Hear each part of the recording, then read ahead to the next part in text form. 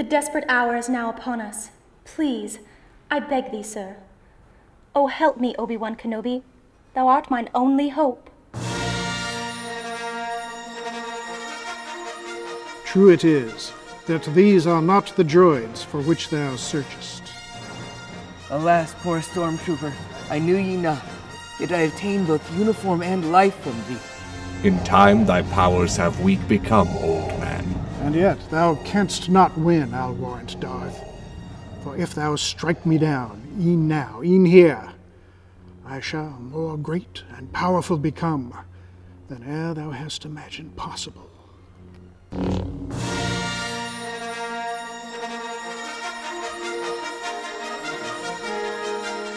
Remember me, O Luke, remember me, and ever shall the Force remain with thee.